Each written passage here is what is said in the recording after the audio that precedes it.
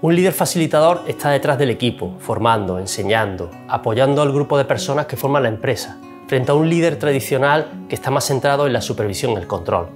Esto se refleja en el sistema de trabajo, donde los miembros del equipo son quienes están en contacto con el cliente, resuelven problemas, toman decisiones y el líder es quien está detrás para ayudar y no por encima de todos.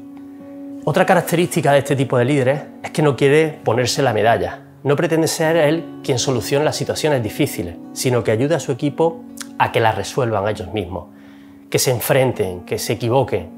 Les apoya para que la decisión sea correcta o no, sea una decisión tomada, meditada y responsable. Así los miembros del equipo ganan en confianza, en autoestima y en crecimiento profesional, cosa que con un líder controlador no sería posible.